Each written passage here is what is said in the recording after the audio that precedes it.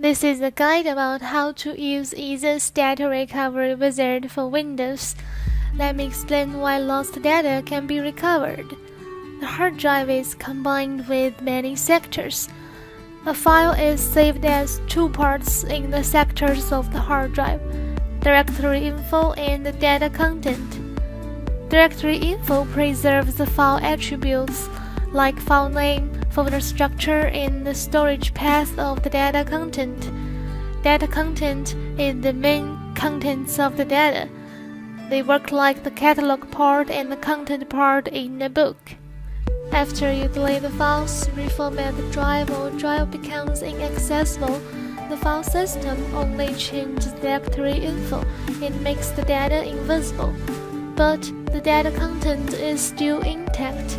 In this case, Data Recovery Tool is able to recover the lost files by searching either directory info or data content.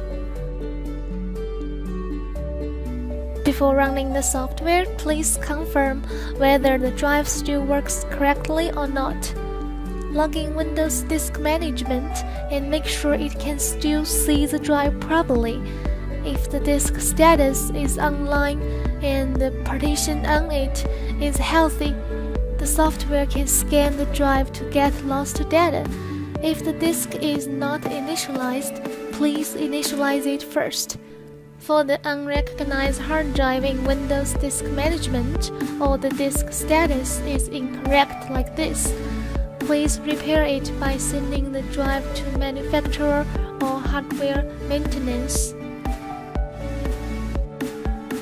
It's recommended to download free version from our website as it can recover up to 2 GB lost files for test. By default, the free version can only save 500 MB files. To share our product on social media will extend the limitation to 2 GB. If the drive is not listed in the software, click Kind Find Location and choose the right hard disk to start the scan. Users are allowed to preview or save the files while the scan is running. Video, audio, photo, and document are supported for preview. However, we always suggest you to accomplish the scan to ensure better recovery quality. The scan speed relies on hardware configuration, system performance, and hard drive I/O speed. Generally, you need 1 hour to scan 100 GB space. We have several methods to search the lost files. Dig into the directories under existing partition and lost partition. Try to locate the files with original file names and folder structures. The search box here can detect any files by any keywords like file name and file type.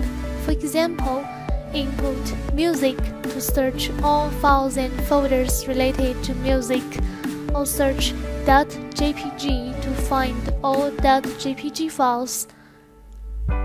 Files can also be listed by file type you are suggested to select a desired file type in Advanced Filter to ensure the job to be processed in a more efficient manner. If you cannot find lost files or the files cannot be opened with original names and structures, directory info must be overridden or damaged. Please check text and raw files detected by searching data content you will find the lost data from this path. Check the box before the files or folders and click Recover button. A dialog box appears which allows you to select a specific path to save the files. Just notice that never save the files back to the drive which contains lost data. If you do not have other space, please prepare an additional external hard drive. A dedicated folder like this will be created after the recovery process.